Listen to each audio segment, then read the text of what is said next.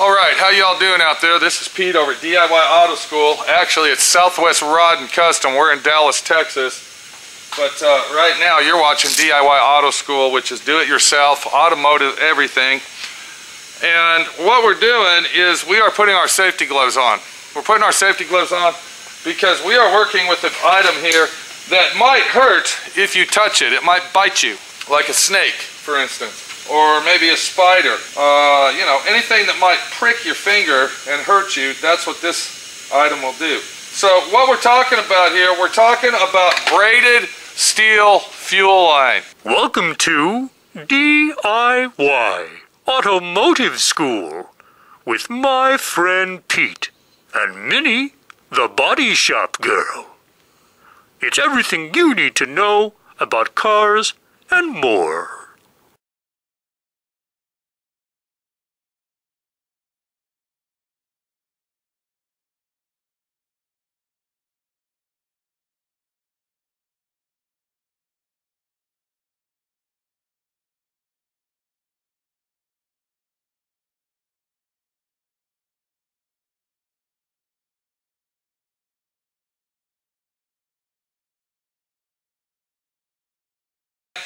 When you're building a hot rod, a custom car, this, that, or the other, or you're adding something to your fuel system, most of the time, you're gonna use the braided steel fuel line. Now, this is what I'm talking about right here. This is our braided steel fuel line. It's uh, encased in stainless steel braid, and you got your 3 8 fuel line inside there. And this is very, very high pressure, uh, high tensile steel, uh, fucking shit that, you know, a tank can run over it and it would still probably be good to use.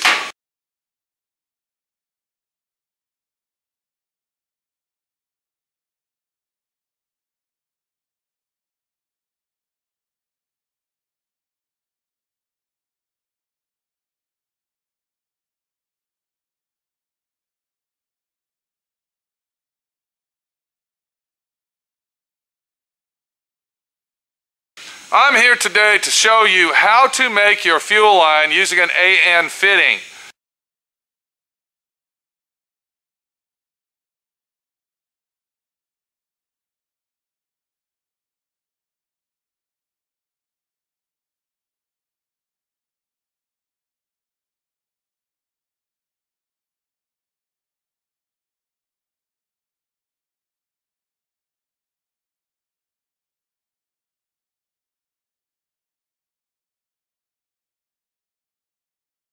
Now, it's a very simple, easy job, but you got to have the right tools to do it with. And when I say the right tools, I'm not talking about going out to this fucking company that makes these fittings and buying their high-tech fucking wrenches and all this other bullshit that they say you don't fucking need anyway. I'm sorry, they say that you do need it, but I said you don't fucking need it.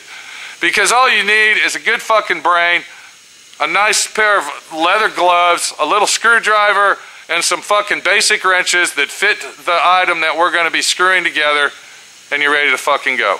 So before we go any further, this is what we're working on right here. We're working on our 1965 Chevy truck, and if we come over here, we can see that this has an LS2 fuel injection drivetrain in it. This is out of a Corvette or a Camaro, same fucking thing basically. And the fuel line is a single fuel line rail. Now what that means, there's our fuel line over here. Let me get around and, all right, here's our fuel line hook up here.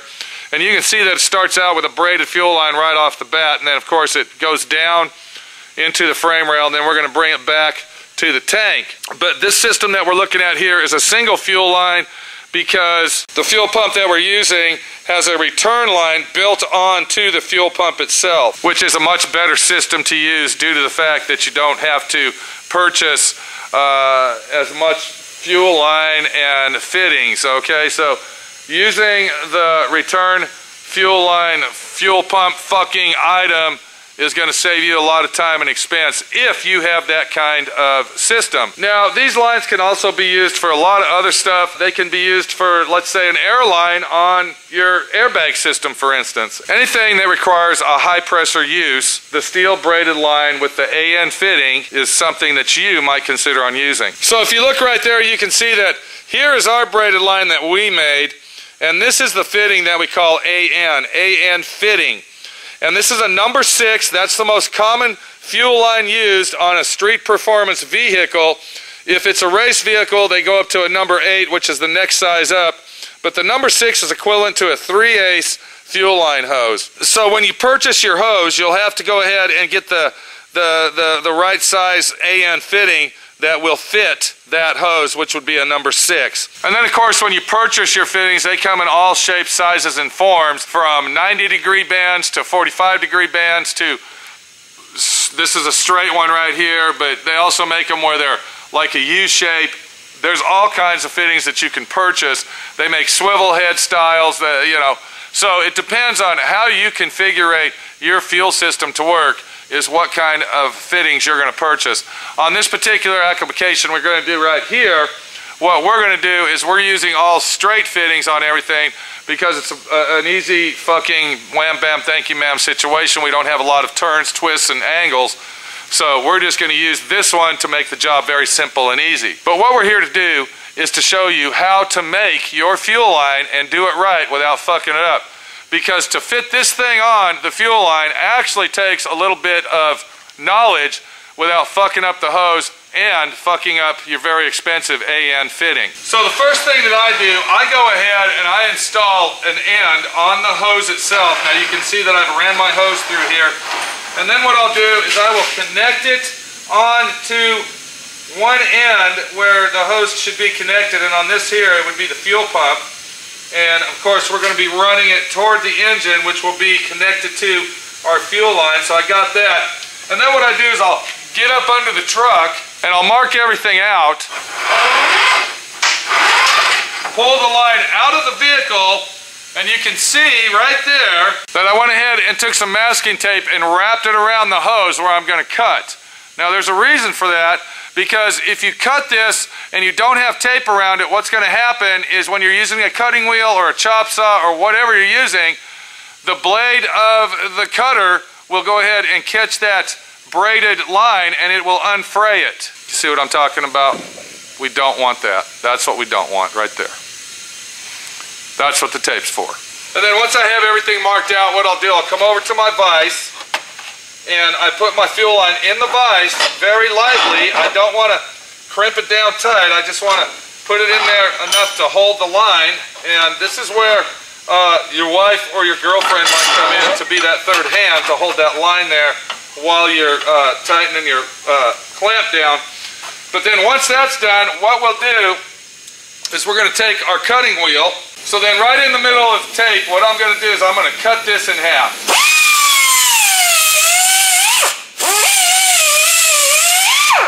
And you want to be as accurate as possible and cut it straight down. You don't want to go at an angle. That's another important aspect because when you put your fitting together on it, if the hose is at an angle, it's going to give it that it's going to give it a little bit of leadway for it to actually leak and it's not going to fit properly. The next thing we're going to do is I'm going to take a little screwdriver just like you see right here. I'm going to go ahead and remove that tape very carefully and if you look at the end of that hose you can see that it's starting to fray out. That is why it's very important that you use a cutting wheel on it and not a hacksaw because if you use a hacksaw you're just pulling on it and twisting it and making it fray more. So then you want to go ahead and take your fitting and you want to go ahead and separate the blue from the red just like this.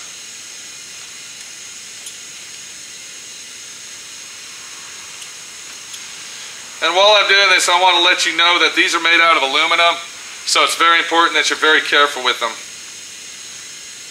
And I'm going to show you why in a second.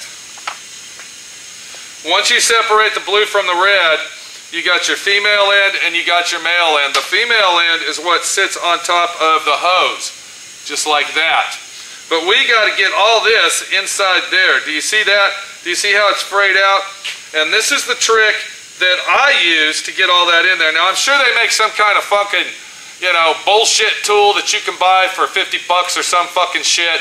Or maybe you out there might have your own way to do it, and you're telling me that I'm a stupid ass, I don't know, but, you know, that's the situation we got. Everybody's got their own way to do stuff, so let's not argue on here and complain and say, hey, that isn't how I would do it, all right?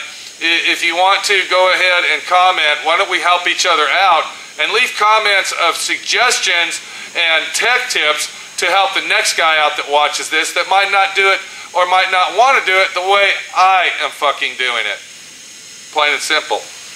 So the way that I do it, I take uh, the fitting and I put it underneath it to grab the bars on the bottom, the barb, and then I'll take my screwdriver and I basically go around and tuck, tuck it in just like this. I don't know if you can see what I'm doing here, but I am actually tucking the uh, hose inside the fitting and making sure that, now see it just came out. So once again, I'm going to hook it like this, just like that. And I'm trying to do this where you can see it. That's the situation we have.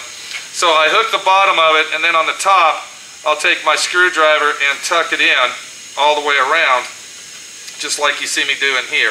Once you have it tucked in and properly fit, you'll want to go ahead and turn it counterclockwise onto the rubber hose. Now the way that I do this is I use a socket and I got it on the off position and I push on it as I am turning it, just like you see right there. So now we have learned that the barb has got to go inside the fitting and I use my screwdriver to tuck it in around. Once that's done, I take my ratchet, I'm going over this again for you, and then I have it set on the off position. That way I know that it's turning to the left instead of the right. Because this is kind of like using a reverse thread. And then I'm going to push on it and turn it at the same time. And then once I see where it stops sucking onto the hose, that's all we're going to do. Then you'll take your blue male end, you'll go ahead and stick it in there very lightly, not pushing it or forcing it, and letting it start to screw on all by itself. If it feels like it's binding up in any way whatsoever, stop immediately. Because this right here is what will happen to you if it gets cross-threaded. You can see where I started to screw this one on, and I wasn't paying attention, and I kept on going and I kept on going, and it fucked our fitting up. This fitting is trash. This fitting cost approximately 13 to $15. I don't remember, but it's somewhere in that fucking range. Uh, it might have cost more, but these are very expensive. And if you fuck that fitting up, or you cross thread it, uh, you're fucked. You're fucked in the ass, and you might as well go ahead and shove it in your ass and save it for a fucking trophy or something because it's no good. It's fucking trash, plain and simple.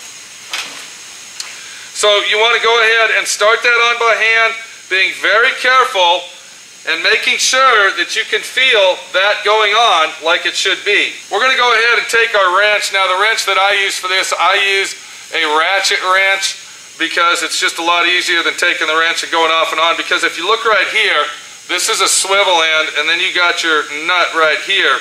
So you want to catch both those at the same time. So before we go any further, we want to make sure that this is going to go on with ease and it's not going to bind up on us. And I can see that that's going to go on very, very nicely. I like the way that it's going on. I'm not using a lot of force. I'm not using a lot of pressure. What we'll do then is we'll go ahead and loosen our vise. And we'll stick the red part in the vise, having approximately a quarter inch or less sticking out. So when we are done tightening that up, the wrench won't bind and mess up the red part of our uh, fitting. Now, something else I want to tell you about using a vise, and this is important. If you're worried about the way that you want these fucking things to look, then you need to find other means, such as another wrench. Now, you can actually put this other wrench on here, and then you can use this wrench here and hold it together and all that. But I'm really not particular about uh, if I scratch the anodization off of that because you will never see this. It's going to be under the truck. Nobody gives a fuck. Who gives a rat shit? I don't fucking care.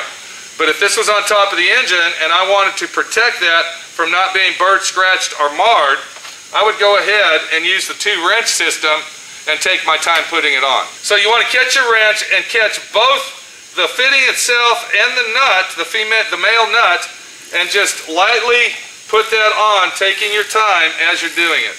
When you start to get to the end of uh, your fitting, you want to be very careful with your wrench so as not to get up to the red part and start grinding into that. So now that we're close, we want to be able to watch our wrench very nicely and make sure that our fitting goes on proper and we're not going to fuck up the female part that's on the hose.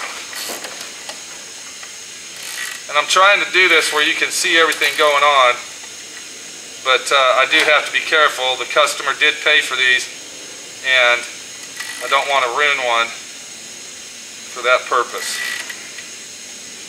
And now I'm taking my time just so I can get it on there and I don't want to burr that and then we're done. So now what we've done is we have made our Aeroquip Earl's fucking uh, performance fucking parts, whatever you want to call these tips, AN fitting. We have now made our custom fit braided, steel braided, stainless steel braided, uh, high pressure, high tech fucking hose that's going to last many, many years without replacement. That's how you make that. That's how you do it. Be very careful. Take your fucking time. Don't cross thread those and have fun and enjoy what the fuck you're doing while you're doing it. This is Pete, my friend Pete, your friend Pete, showing you that you don't need the fancy fucking tools to do the fucking job. Showing you that if you fuck up, all right, you fucked up, plain and simple, all right? And I'm also showing you that anybody in the world can do this shit. Anything that you see me fucking do, you can do. Because I learned by myself. I didn't have YouTube. I didn't have anybody coming over here. I didn't have a mentor. I didn't have a my friend Pete. The only thing I had is a little guy named We. And when I say we, I'm talking about me, myself, and fucking I. Where the fuck did you come from? The fuck are you doing here, dude? I'm fucking working. What are you doing? Oh, so you now you want to be my pal. Now you want to be my pal. I'm sorry, this is we. This is we. The only fucking guy that I'm going to trust to help me. Do you see what I'm saying? Do you see what I'm saying? Do you see what I'm trying to tell you? All right, I told him, okay? Okay, I fucking told him. And get the fuck out of here. So learn from your mistakes.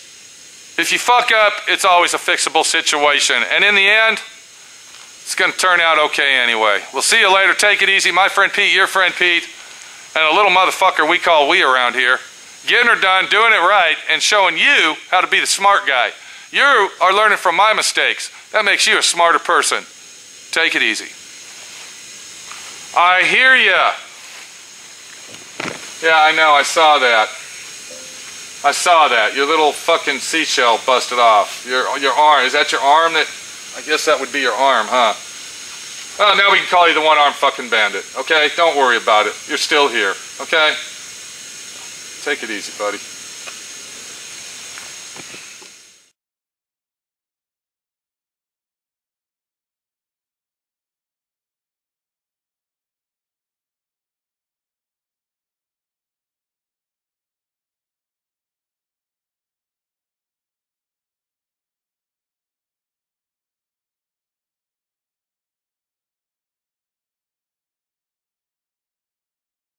Thanks for watching DIY Automotive School. Classes don't stop till you know everything.